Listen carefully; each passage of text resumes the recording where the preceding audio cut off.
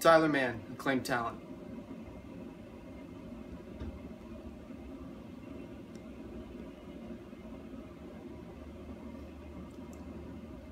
Man. And if they break anything, I'll pay for it.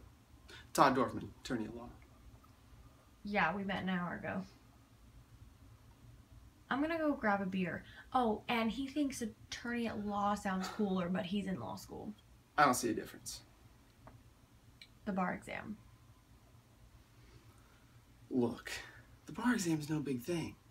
In high school, I scored a 31 on my ACT. Look, lawyers are people too. It just takes a different breed, you know? Not someone who's going after low hanging fruit, but someone who actually used their unbridled gifts to help the less fortunate and less intelligent. Smell what I'm cooking, Big Chief? I can tell. You should think about being a lawyer. You'd be surprised. They're actually accepting kids with a 3.0 these days.